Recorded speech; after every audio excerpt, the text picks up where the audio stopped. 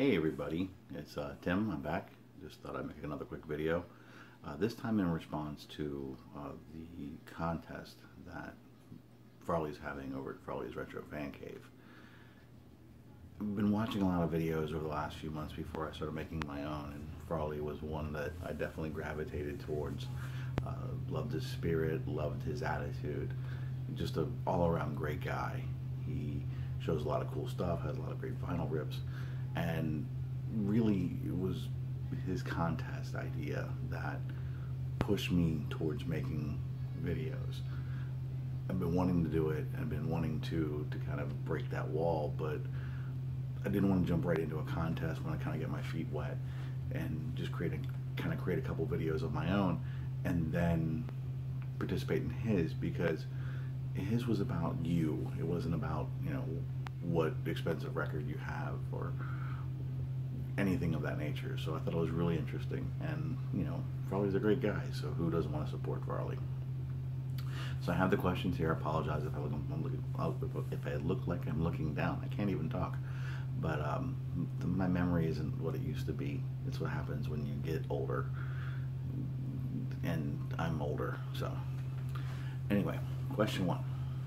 Was there a specific event or person in your life that got you into music?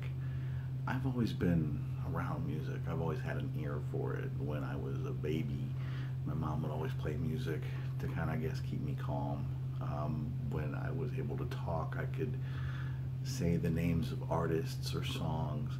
There were a couple of radio DJs that lived in the apartment building that my family lived in um, when I was a baby. And around that time, I'm walking, I'm talking and they would bring over 45s and I could identify them. So I've always had an ear for music. I, I one of my earliest memories that I can remember was sneaking up into the attic where the stereo was and sneaking a listen to David Bowie's Space Oddity on 45. So it's always been around, but my uncle and my aunt, my uncle Jack and my aunt Judy, really cultivated it at a very early age they didn't have their stereo to a side of the house or back in a corner. It was front and center. It was part of their living room. It was a part of their lives.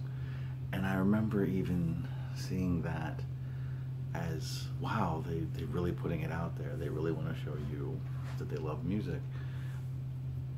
Their, their stereo was awesome. Their record collection was really cool, but I could never touch it. No, stay away. Unfortunately, they broke they were they were broken into and they had to move, and insurance kind of helped them pay repay for some of, of that equipment. And as I got older, they they taught me how to use their stereo, and that was a big deal because not even their friends could could use it. And here's this ten year old kid who would clean the records and essentially play DJ you know, at a party or just maybe if it was with my uncle and aunt, and they would let me bring over boxes of tapes, and I would just record anything I get my hands on, and so I discovered Led Zeppelin and Pink Floyd and just amazing stuff. So they really cultivated that that love of, of anything. We would listen to Larry Raspberry and the High Steppers, and then go to Pink Floyd or Jimi Hendrix, who I still love. Yeah, he's my favorite artist, probably because of that. And specifically, there was one album that changed me in the way that I, I, had seen things. You know, flipping through all their different albums, Uriah Heep and, and everything. But it was one album I was like, that looks weird. I don't know if I want it. And then one day my uncle just put it on. He didn't even know that I was freaked out by the cover. And I was about 11 years old, maybe 12, and it was in the Court of the Crimson King by King Crimson, and I I didn't know what I was hearing, but I know I loved it, and it was amazing that the sound was coming into my ear, and I didn't know what I was going to expect when he put it on, and I didn't know I was going to want it, but as soon as he was done, I, I grabbed a blank tape and I said, "We need to do this again because I need to have this. I need to take it home." And I cherished that tape. I, played it probably every day for a good three, four months, if not every week thereafter. I memorized that album. And it really just opened up the floodgates for all different types of music because it allowed me to appreciate, at least in my opinion, things that weren't normal. It's not a, it's not a commercially, we're going to play it on a radio album, but it allowed me to really cultivate it. So my aunt still is around. She still loves music. She's a huge fan of bluegrass. And last time I talked to her, she was checking out the latest Gary Clark Jr. And wherever my uncle is, he's riding his Harley and probably cranking Uriah Heep or Hendrix or maybe even that King Crimson album. So my Uncle Jack and my Aunt Judy really nurtured me in everything when it came to music and helped me kind of learn what it meant to be a collector. Question number two, what do you like about the VC? I think this one was probably the easiest to answer, and it's the sense of belonging in that community. Everyone has been so kind and so welcoming and so just, hey, welcome, come on in, party's here, bring your records, let's let's sit down and have a spin.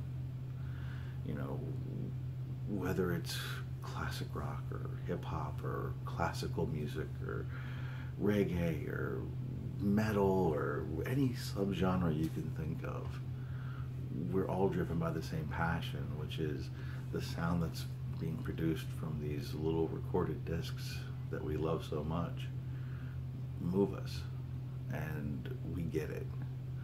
Not a lot of people do I actually got ridiculed a lot in my life because I love music so much and they, a lot of people didn't understand why but but everybody in the community does everybody's kind everybody's welcoming everybody's willing to share something that moves them and I think that's important and I think that's what makes the VC a great place to be and I'm kind of glad that I was able to stumble across it and learn because I'm learning new stuff every day and it's really great. Question number three. What don't you like about the VC? Uh, I know it's been talked about before, but I don't see it a lot. But I do see sometimes there is this sense of division where maybe you don't have the right records or you don't collect the right way. Maybe you don't play them the right way. Maybe your collection isn't big enough. And to, to me, I say that's all bullshit. If you love music, you should not ridicule somebody else who loves it in a different way. Just because you don't think Jimi Hendrix is great, I'm not going to think less of you. Um, so we have to, like I said, I don't see this a lot. I really haven't seen it much. But if someone can or cannot do something else, you know, it's it shouldn't matter. We're here because the love of music brought us here. And none of us are going to own every record. None of us are going to hear every record. And I think that's what drives a lot of us is that there's still something new. We still have that ability to find something for the first time or get turned on to something for the first time or find someone who loves your favorite album just as much as you do.